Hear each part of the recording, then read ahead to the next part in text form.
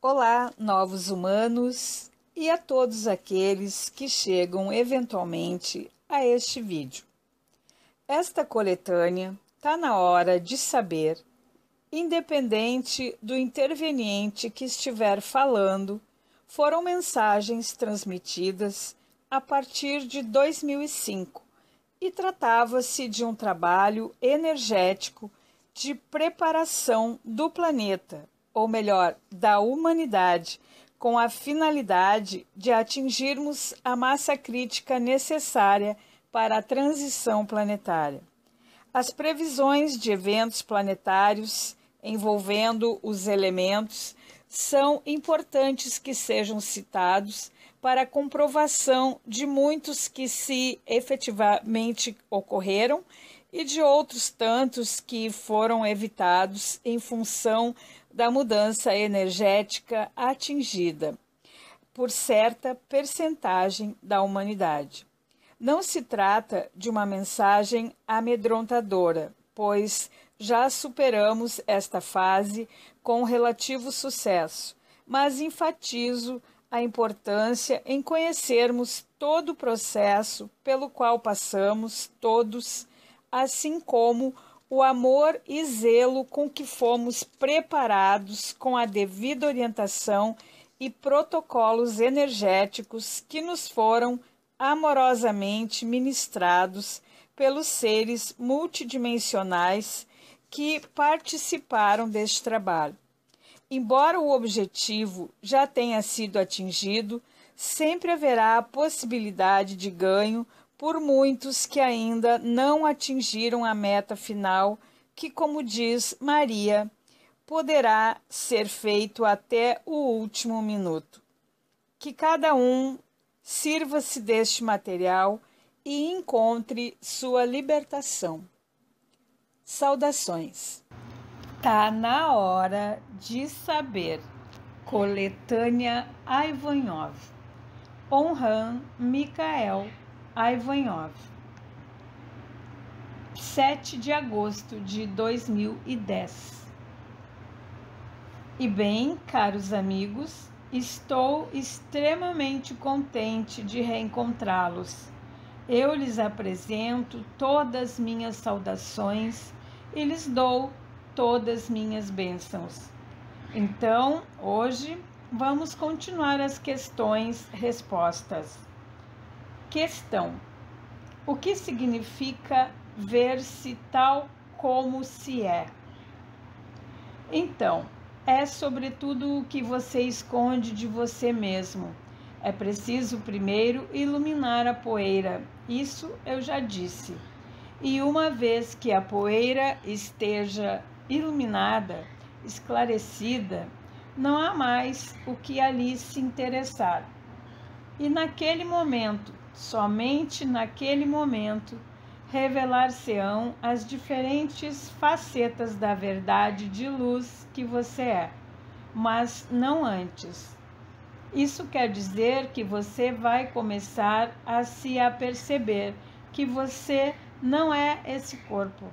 Não unicamente na ideia, no pensamento, mas na verdade vibratória. Você vai se identificar vibratoriamente e na consciência, a cada uma de suas quatro linhagens e também em função de sua origem estelar. Mas a primeira fase, como já disse desde um mês, é aceitar ver a poeira. E uma vez que não houver mais poeira, que a casa esteja limpa, como dizia Cristo, naquele momento assim que as últimas chaves da luz vibral sejam divulgadas sobre a Terra, naquele momento você poderá se ver tal como é, e não tal como lhe remete a imagem do espelho. Quer dizer que a verdade sobrepor-se-á no plano vibratório com a ilusão. Isso faz parte também do que foi dito, ou seja, as partículas da luz vibral que começam a se acumular mesmo em sua estrutura física, dando-lhes, para alguns, essas dores ao nível dos chakras, ao nível das lâmpadas e também essas vibrações que vocês percebem em seus corpos. E haverá um belo dia em que, quando forem se olhar no espelho, não verão mais o corpo físico que vocês são. E quando se olharem no interior, verão a mesma coisa. Vocês verão estranhos animais. A dificuldade será, sobretudo, para aqueles que estiverem muito identificados à sua forma, que foram persuadidos de poderem manter esta forma na verdade. Sempre lhes disseram que vocês não eram esse corpo. Aí vocês vão descobrir que é a estrita verdade. Na verdade, vocês são outro corpo. Isso faz revolver as bicicletas mesmo, hein? Questão: como vai se manifestar o que vai se ver, mas que não se queria ver? Vai manifestar-se sob forma da visão, como disse Noais, do que vocês são, ou seja, que vocês passam, nós passamos todo o nosso tempo quando estamos encarnados a projetar uma imagem exterior. E somos persuadidos de que a imagem que nós projetamos corresponde ao que idealizamos no interior de nós, mas não é a verdade, é uma parte da verdade. Do mesmo modo, vocês têm a impressão de serem honestos, de serem bonitos, de serem isso, de serem aquilo. E bem, não é a verdade, mas sim uma projeção através da exteriorização da consciência, na limitação do que se quer que os outros vejam. Mas há também o que se quer se ver a si mesmo, que não corresponde de forma alguma à verdade. Mas lembrem-se, já isso foi dito em várias vezes por Anael. Muitas pessoas, mesmo no nível espiritual, em meio a grupos na vida, enganam. Elas enganam estando persuadidas de que os outros não as veem enganar. Mas quanto mais a vibração sobe, mais vocês se apercebem quando o outro engana e vocês, vocês não se apercebem que vocês enganam. Em breve vocês não poderão mais enganar aos outros como a vocês mesmos. Tudo o que eram zonas de sombra, poeiras, vai lhes aparecer. Então, isso não se refere a uma visão pelos olhos ou pela visão interior quando eu digo que isso vai lhes aparecer, isso vai se tornar evidente, como todos os medos que vocês não queriam ver, as problemáticas que vocês não queriam ver, vão saltar-lhes à frente, como se diz. Isso já começou para alguns. O objetivo não sendo o de trabalhar, de saber por quê, como qual é a causa e tudo isso, mas aquecer, ver, aceitar que a luz lhes mostre isso. Isso se chama ser autêntico com si mesmo, porque na vida, qual é aquele que jamais escondeu o que quer que seja sobre suas atitudes, sobre seus comportamentos? sobre a imagem que ele quer dar a ver no exterior.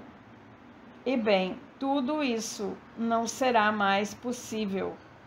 Nos mundos unificados, vocês não podem nada esconder, mesmo seus pensamentos. Eles se difundem nos universos inteiramente. Vocês não podem, por exemplo, pensar de uma entidade qualquer coisa, escondendo-lhe, porque instantaneamente, onde quer que ela esteja nas dimensões, ela vai recebê-lo. Não há mais amortização ligada à matéria. Portanto, vocês não podem mais nada esconder. Questão: Tomar consciência de uma problemática basta? É preciso aceitá-la no interior de si. Você sabe, na evolução do ser humano, desde anos, muitas coisas se eliminam. Certamente compreendem-se coisas, sobretudo ao nível do caminho espiritual, e depois há coisas que se coloca de lado, porque se recusa a vê-las ou porque não se sente bem com isso. Não é uma questão de ter uma culpa, é simplesmente aceitar vê-las. É profundamente diferente. Uma vez que é vista, é preciso, obviamente, em alguns casos, se vocês quebram algo, é preciso agir fisicamente. Se há dores físicas, é preciso agir também energicamente, energeticamente. Mas a solução definitiva, quando isso se evacuou do corpo, é preciso também que isso aceite de se evacuar ao nível da consciência. Todo o mundo não é obrigado a passar pelo corpo. Quando isso sai de maneira violenta, assim, seja através de um choque, de uma fratura, é que há urgência de solucionar a problemática que está em causa, porque isso coloca em jogo, sobretudo ao nível dos seres espirituais, o acesso à existência. Questão: Por que meu corpo se agita durante as meditações? Isso corresponde ao mesmo processo de integração da luz. Alguns o vivem com dificuldade e outros facilmente, e outros não o vivem de forma alguma. Se a cabeça se move, isso quer dizer simplesmente que a energia não chega a passar a porta da garganta e ela não chega a se estabelecer no coração. O que explica as percepções extremamente potentes ao nível da cabeça, porque a energia não chega a traçar um caminho para o coração, ligado ao que se disse, ao nível da garganta, há pouco. Mensagem de Anael, 7 de agosto. Isso faz parte das zonas de sombra ou de poeiras que bloqueiam o caminho da luz no interior de seus corpos para alguns, isso será mais abaixo, no sentido da subida da energia, etc, etc. Questão: Tenho a impressão de não avançar. Você tem preconizações? Sim, cara amiga, basta avançar. O fato de não avançar ou a impressão de não avançar está ligado ao medo de avançar. É preciso aceitar avançar sem conhecer o que será feito amanhã. Sem isso, não se avança. Não se pode, como dizer, pretender a luz, pretender viver estados espirituais e recusar avançar. A impressão de não avançar está ligada geralmente a, como dizer, um medo que está no interior, que é frequentemente o medo do desconhecido e de ir adiante. Avançar, você concebe isso como avançar. E você imagina que é preciso ir adiante, como eu disse. Mas é preciso, sobretudo, aceitar ser, porque é na imobilização, que se chamou de abandono à luz, que se pode avançar realmente. Portanto, o medo de avançar é o medo do desconhecido, é o medo do abandono à luz. Porque se há abandono à luz, há estabelecimento da alegria e do samadhi. Se não há estabelecimento da alegria e do samadhi. O que isso quer dizer? Isso quer dizer que a luz não chega a se estabelecer no coração. Porque se está estabelecida no coração, não se coloca mais a questão de saber se avança ou não. Está-se na vibração da alegria. Portanto, o fato de não ir ao coração, quando se abriram as energias da cabeça, traduz efetivamente uma dificuldade para se abandonar à luz. E é isso que permite avançar. Em outros termos, será que você sente a coroa radiante do coração? O que é que faz com que isso não se instale? É bem você, não é? Que realiza o fato para que isso se instale ou não nós sempre o dissemos. Portanto, se isso vai e recua, isso quer dizer que há uma dificuldade para se estabelecer nessa unidade. O que é senão é o medo da luz e o medo da unidade? O medo da morte, se você prefere, o medo da dissolução. Muitos seres despertos preferem permanecer ao nível da cabeça, porque eles guardam o quê? O controle. Eles têm a impressão de guardar o controle e o domínio, a mestria. Toda a dificuldade está aí para todo o mundo. Então, que seja algo que permaneceu atravessado na garganta, que seja o medo do amanhã, que seja o medo da falta pouco importa. Mas é sempre o mesmo processo, porque senão, se não houvesse obstáculo, você estaria no samadhi permanentemente, ou o mais frequentemente, ou à vontade. Se você não estivesse num caminho espiritual, a questão não se colocaria então mas todos que estão aqui têm a percepção das vibrações ao nível da cabeça, não é? Portanto, o que impede que isso se estabeleça no coração à vontade ou mais frequentemente, se não é o medo? Eu diria mesmo o terror de ir ao nível do coração permanentemente, porque vocês o sabem, esta etapa de instalação, não assim por momentos, por lufadas, mas de maneira definitiva, é a dissolução, o que eu chamei e que outros chamaram comigo de pequena morte. O que é que não quer morrer se não é o mental e o ego? Então, depois, o ego bem diz: Mas não, eu não compreendo, não é verdade, eu quero a luz. Ele pode dizer tudo o que ele quiser, mas são problemas de encanamento. Assim, se a torneira está fechada, não é preciso acusar outra coisa além da torneira fechada. Ainda uma vez, a questão não se coloca para aqueles que não têm mesmo as vibrações na cabeça.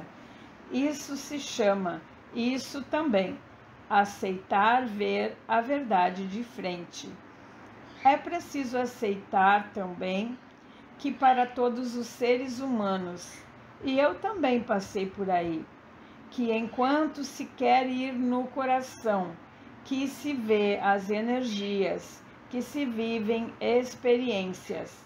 Tem-se muita dificuldade para aceitar, que é o ego que recusa. Tem-se sempre tendência a projetar ao exterior, a dizer: é culpa do meu marido, é a culpa de minha vida, é a culpa de minhas dores, é a culpa da falta de tempo, etc, etc. encontram-se justificativas que são apenas esconde desgraças, porque não se quer ver que é o ego que impede. Lembre-se que o ego não é sempre aquele que faz o estardalhaço e que se coloca na dianteira da cena. Há também os egos que eu chamo de falsa humildade. Quer dizer que se pensa e se vê falsamente, tão puro e tão desperto que não se compreende por que a coroa do coração não se instala. Mas a coroa do coração apenas se instala se vocês capitulam inteiramente. Sem isso, quer dizer que é o ego que o impede de ali ir. Não há ninguém mais que o impede de ali ir. E isso vai se manifestar com uma acuidade cada vez mais forte para todo mundo, para todos os despertos. Isso faz parte também de aceitar se ver tal como se é, sem culpa. Questão: Tive a visão de um triângulo. Isso poderia ser uma de minhas linhagens? Podem ser múltiplas coisas. Lembrem-se que o triângulo não é uma linhagem, é um universo dimensional mais que uma origem estelar. As linhagens estelares ou sua origem estelar nada tem a ver com o nível dimensional. Dentro de uma mesma estrela há várias dimensões. Dentro de um planeta, de uma estrela, há várias dimensões. A civilização dita dos triângulos não é existente num universo preciso como os Hayot HaKodesh. Eles estão em todos os universos e em todas as dimensões. Sem isso, não haveria vida. Questão: Por que na mesma visão igualmente vi uma cabeça de cavalo. Então, aí, cara amiga, eu não posso lhe responder. As visões que você tem relativas às suas linhagens são confirmações interiores. Em nenhum caso uma explicação exterior virá confortá-la ou informá-la em sua percepção. No mais, a visão de uma linhagem não é uma imagem que se passa assim, é algo que se imprime de maneira durável, não na visão, mas na qualidade vibratória que está ligada a esta visão. Então, imagine que você tem 200 animais que passam atrás de seus olhos fechados. O que você vai concluir? A manifestação de uma linhagem é frequentemente uma visão, uma percepção, uma vibração que é de natureza recorrente. Não basta ver uma vez uma coisa para dizer que você é desta linhagem ou que há em você esta linhagem. A revelação se faz num modo vibratório e há uma identificação extremamente precisa que se produz naquele momento. Não pode ali haver dúvidas ou questionamentos. E ainda uma vez, as linhagens apenas se revelam quando vocês penetram na vibração do coração, não antes. E uma vez que as doze estrelas de Maria, ou ao menos as nove primeiras estejam ativadas inteiramente. Então, por vezes, vocês têm uma visão, digamos, astral de uma verdade que seria estabelecida algum tempo após. É por isso que sempre lhes dizemos que não se podiam dar suas linhagens do exterior. Sem isso, não há qualquer sentido. Isso os provoca no mental e os afasta do instante presente. Ora, a revelação das linhagens apenas se faz no instante presente, ou seja, no Hic e Nunc, cruzados com Alfa e Ômega, que lhes dão a verdade do que vocês são, por intermédio das quatro sílabas sagradas que lhes permitem instalar-se no meio dos pilares da criação e, portanto, terem naquele momento a revelação do que vocês são e de sua origem. Se vocês não respeitam esse princípio vibratório, vocês arriscam se deixar embarcar em visões exóticas que lhes chegam, como essa. Questão: Qual é a diferença entre as águas subterrâneas e as águas do intraterra? As águas subterrâneas não vêm sempre do intraterra. Uma água intraterra é sempre subterrânea por definição. A definição é a origem da água. Uma água subterrânea pode se estabelecer ao longo de falhas ou de circulações de rios chamados subterrâneos que são os lugares de manifestação de algumas formas de vida. Há, por exemplo, a água de chuva ou do rio que passa sob uma casa, que gera campos eletromagnéticos que podem ser extremamente perigosos para o ser humano. Agora, se é uma água intraterrestre, ela toma sua fonte no intraterra, ou seja, extremamente diferente, em ressonância com o intraterra, seja por intermédio de sua procedência direta, seja por intermédio dos cristais que ela atravessa. Uma água intraterrestre não pode, em caso algum, tornar-se patológica como uma água subterrânea simples, uma vez que ela é portadora de vibrações do intraterra. Questão: Eu acreditava ter soltado os medos e falaram-me ainda ontem. Sim, porque é frequentemente assim. Há medos atrás dos medos, atrás dos medos, atrás dos medos até o medo primordial. Portanto, é uma negociação de desvendamento progressivo. Um ser humano que manifesta um medo, então esses medos vão se ilustrar em sua vida. Vocês criam tudo o que vocês projetam.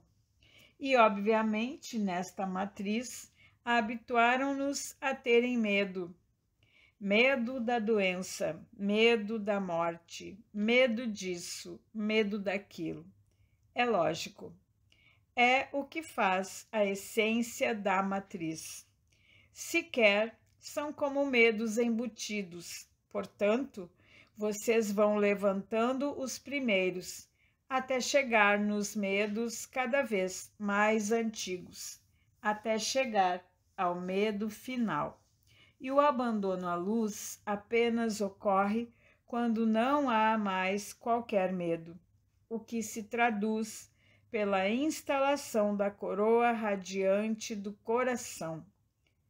Questão: por que tenho frio após algumas canalizações? Há quem tenha calor, há quem tenha frio, há quem tenha queimações, há quem vibre Há quem trema, há quem tenha dor de cabeça. Por que querer encontrar uma explicação? Isso significa simplesmente que seu modo de integrar as energias que nós manifestamos no momento em que falamos, no momento em que efusionamos, traduz-se para você por isso, mas com a mesma consciência que se manifesta. Um terá frio, o outro terá calor. É evidente que se você tem estremecimentos de horror, será melhor sair, não é? Mas, independentemente disso, o que é importante é a qualidade vibratória que emerge, uma vez que a metabolização da consciência e da energia da entidade que está presente se revele a vocês. Mas há sempre uma interação. A primeira fase da interação vai lhes dizer simplesmente como vocês reagem, mas não a ação profunda da interação. Então, o importante, o ideal, é já sentir, qualquer que seja a qualidade da energia, é sentir esta presença. Esta presença passa sempre pela cabeça, mesmo para uma entidade da sombra mas depois há um sentimento diferente, obviamente, seja de plenitude, seja de algo que os nutriu. E quem não sentiu algo? Agora, a primeira reação traduz o mais frequente, o modo que você tem de reagir ao que se poderia chamar de uma maneira como de outra uma forma de intrusão, porque através do contato vibratório com os universos unificados, há efetivamente esta espécie de penetração da consciência e da energia em suas estruturas. Portanto, isso pode desencadear um sentimento específico.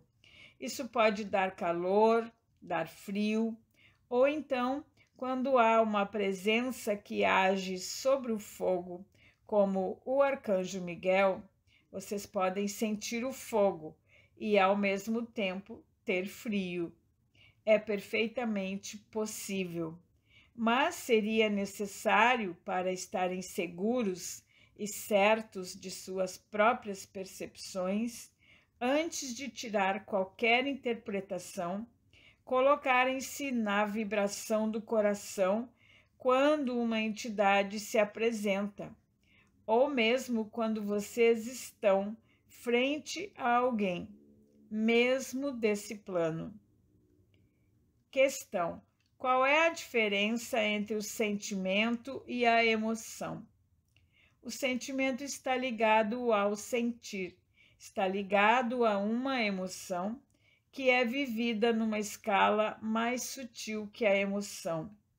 Por exemplo, quando você tem um sentimento de amor, você não sabe por que você ama. Pode ser um reconhecimento físico, tátil, vibratório, emocional, kármico. O sentimento não participa da unidade, ele participa da dualidade, como a emoção. O sentimento é uma mistura vibratória em relação com a experiência de um e do outro, fazendo com que haja química ou não haja química. Essas químicas que podem existir ao nível kármico, ao nível vibratório, ao nível químico, através de odores, ao nível espiritual através de missões, por exemplo, mas isso não pertence ao mundo da unidade. Em resumo, pode-se dizer que na existência não há nem emoção, nem sentimento, nem mental. Há ser e amor, e não o amor humano. O sentimento se traduz frequentemente por uma emoção. A emoção pode provocar um sentimento. Questão: Qual diferença há entre uma efusão de luz e uma radiância?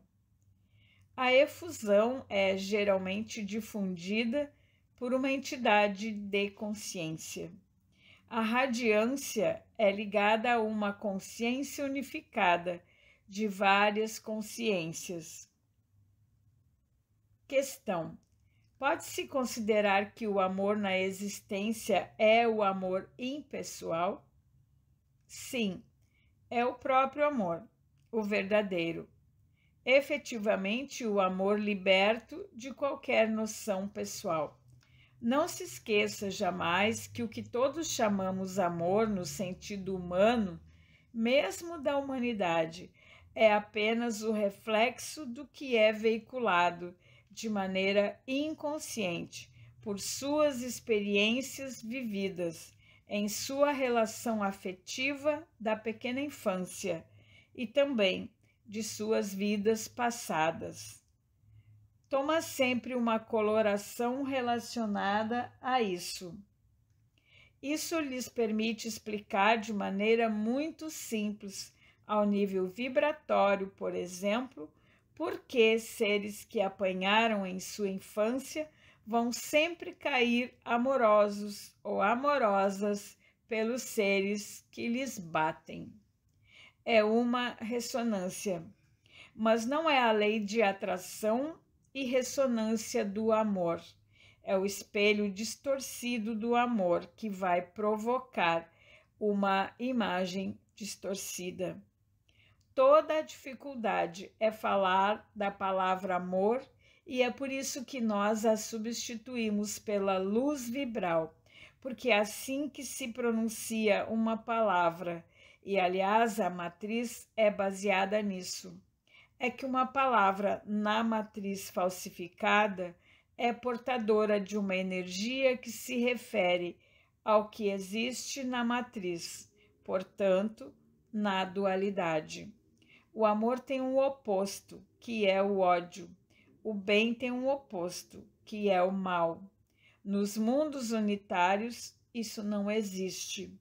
Portanto, quando você diz amor, você estará sujeito ao nível da matriz, ao amor e ao ódio, ao casal de opostos, ou bem-mal, se prefere. E você estará sujeito ao que você engramou em você e viveu nesta vida, como em suas várias vidas.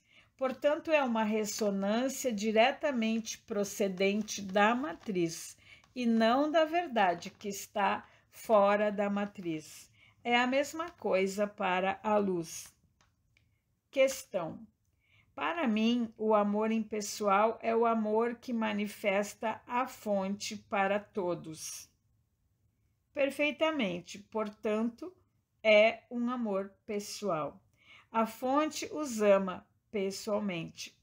Portanto, você vê, caro amigo, quando você pronuncia a palavra amor impessoal, é em oposição ao amor pessoal colorido pelo afeto.